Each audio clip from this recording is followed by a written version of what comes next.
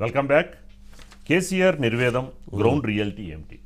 కేసీఆర్ కొద్దిగా ఈరోజు మాట్లాడింది ఓడిపోతే ఏమిటి అని ఒక విధంగా బయట ఉందా? బయట ఉంటే బయట వారు మాట్లాడిన దాంట్లో వారి ఆవేదన అర్థం ఇది బయట.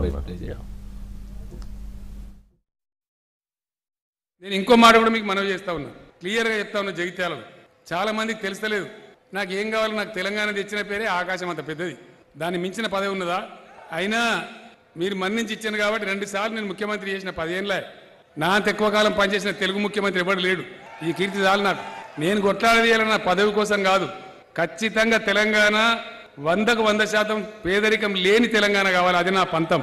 కేరళ రాష్ట్రం మాదిరిగా వంద శాతం అక్షరాస్యత ఉన్నటువంటి రాష్ట్రం కావాలి. రైతాంగం గుండె చేసుకుని హాయిగా నిద్రపోయి బ్రహ్మాండమైన పంటలు పండే తెలంగాణ కావాలి. తెలంగాణలో ప్రతి ఇంచుకు నీళ్ళు రావాలి. దానికోసం దండలాడుతున్నాను తప్పితే ఈ పదవి కోసం కాదు. నాకు ఇప్పుడు డెబ్బై సంవత్సరాల వయసు వచ్చింది. ఇంకేం కావాలి జీవితంలో? అందువల్ల దయచేసి మిమ్మల్ని కోరేది పార్టీల వైఖరి నాయకుల ఆలోచన సరళి అన్నీ ఆలోచించే మీరు ఓట్లేయాలి తప్ప ఆగమై ఓట్లేద్దని మనవి చేస్తా ఉన్నాం. కేసీఆర్ గారి అంటే ఆలోచనలో ఆలోచన భావాలలో ఆయన కొంత నిర్వేదం కనపడుతున్నది. జనరల్గా అంటే పది సంవత్సరాలు తెలంగాణ తెచ్చింది కేసీఆర్ గారు. పది సంవత్సరాలు మీరు ఇచ్చేదని చేశారు ఇక ఇప్పుడు చేయాల్సింది పేదల కోసం లేదా నీటి కోసం లేదా ఎడ్యుకేషన్ కోసం అనే అంశాలు చెప్తున్నాను. కానీ పది సంవత్సరాల అంశంలో గనక వారు ఇరిగేషన్ విషయంలో చేశారు. మిగిలిన విషయంలో కూడా వారు అంతే స్థాయిలో చేసినట్లయితే ఇప్పుడు ఎంప్లాయ్మెంట్స్ ఇష్యూ ఉంది. అది బాగా నడుస్తూ ఉంది. అది చేసినట్లయితే ఇప్పుడు అంత ఇబ్బంది ఉండేది కాదు. ఇట్లాంటివి కొన్ని అంశాలు ఆయన చుట్టుముడుతూ ఉన్నాయి. అయితే ఇక్కడ మనం ఇరిగేషన్ ఇష్యూలు అంతా చేశారు. నిన్న మేడిగడ్డ ఇష్యూ తర్వాత అది వారిని ఇబ్బంది గురి చేసినటువంటి అంశమైంది ఏదైతే చేశారో అది వాళ్ళకి రివర్స్ అవుతున్నటువంటి పరిస్థితి. ఏదైతే చేయలేదో అది రివర్స్ అవుతున్నటువంటి పరిస్థితి కనపడుతోంది అందుకనే వారు కొంత అసంతృప్తిని వ్యక్తం చేస్తున్నారు. రెండోది వారు అందరూ సెట్టింగ్లకి ఇవ్వటం కూడా అది వారికి నష్టాన్ని చేకూర్చిన అంశమైంది సరే రమణ. రమణ.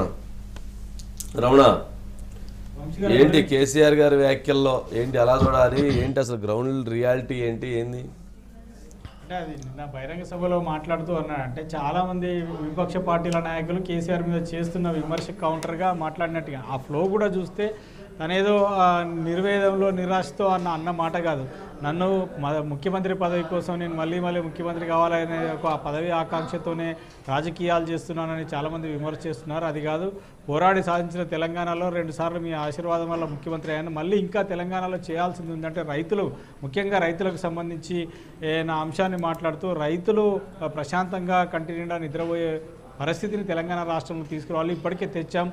ముందు రోజులలో దాన్ని మరింత చేయాలి తప్ప నేనేదో ముఖ్యమంత్రి పదవి కోసమో లేకపోతే ఇంకో కీర్తి ప్రతిష్టల కోసం కాదు. ఒక తెలంగాణ రాష్ట్రాన్ని సాధించిన వ్యక్తిగా నాకు రావాల్సిన కీర్తి ప్రతిష్టలు వచ్చాయి. రెండుసార్లు ముఖ్యమంత్రి కూడా చేశాను. ఇంక ఇంతకంటే కావాల్సింది ఏముందని అన్నాడు. అంటే ఆ మాటల్లో కూడా చాలా ఫ్లోలో ఆయన మాట్లాడిన బయటలో మనం చూస్తే కనుక అది చాలా స్పీడ్గానే ఉంది. ఎక్కడ కూడా ఏదో తడబడో లేకపోతే డిఫెన్స్లో పడి మాట్లాడిన మాట కాదు. ఎదుటి వాళ్ళకు సమాధానం చే- చెప్పడంలో భాగంగా ఆయన అంతే కాన్ఫిడెన్స్గా మాట్లాడాడు తప్ప ఇంకేముంది? చాలా. ఇంతకంటే ఎక్కువే ఉంది మీరు ఓడగొడితే పోయిన ఇంటికాడ అనుకుంటా ఒకసారి అన్నాడు అది ఇంతకుముందు వేరే ఏదో సభలో అన్నాడు ఆ మహబూబ్నగర్ జిల్లాలో. ఒకవేళ మీరు ఆశీర్వదిస్తే మళ్ళీ ముఖ్యమంత్రిని చేస్తా. ఓడిపోతే నాకు పోయేది ఏం లేదు పోయి వ్యవసాయం చేసుకుంటాక నష్టపోయే తెలంగాణ ప్రజలని ఒక సందర్భంలో ఉన్నాడు ఈ మధ్యనే ఈ ఎన్నికల సందర్భంగా. కానీ ఈ ఈ బయటలో ఇక్కడ ఈ సందర్భంలో జగిత్యాల సభలో మాత్రం ఆయన అన్నది చాలా టెంపోలోనే ఉన్నది. అయితే దీనికి రకరకాల ఆపాదిస్తున్నారు ఇక కేసీఆర్ పని అయిపోయింది. ఇంకా నాకు ఇంతకంటే ఏం కావాలి? నేను మీరు కూడా కొడితే ఇంటికాడ కూర్చుంటానన్నాడు ఎవరైనా ప్రజాస్వామ్యంలో ఎంత పెద్ద మహామహులైనా సరే ప్రజల తీర్పును గౌరవించాల్సిందే. ప్రజలు ఓడగొడితే ఇంట్లో కూర్చోవాలి గెలిపిస్తే కుర్చీ మీద కూర్చోవాలి. అది సహజం అది. కాబట్టి దానికోసం కాదు నేను. పోరాడి సాధించిన తెలంగాణలో మీ ప్రజల కోసం నేను పోరాడుతున్నాను. మీరు అర్థం చేసుకోండి. ఈసారి కనుక మీరు వేరే వాళ్ళకి అవకాశం ఇస్తే ఇంతసేపు ఇన్ని రోజులు కష్టపడి తెచ్చుకునే తెలంగాణలో ఇబ్బందులు ఎదుర్కొంటాడు అనేటువంటి ఎదుర్కొంటారనేటువంటి ఒక అంశంలో భాగంగా కేసీఆర్ మాట్లాడిన మాటలుగా అవి మనం చూడాల్సి ఉంటుంది Vamsi. Okay. Right next turning point Telangana